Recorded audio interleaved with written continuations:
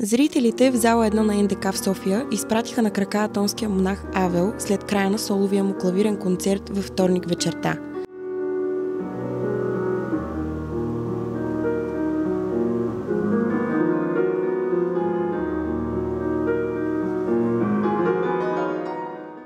След края на програмата си от 22 композиции, монахът се сбогува с зрителите, но непрестанните аплодисменти три пъти го върнаха за Трояла за ново изпълнение.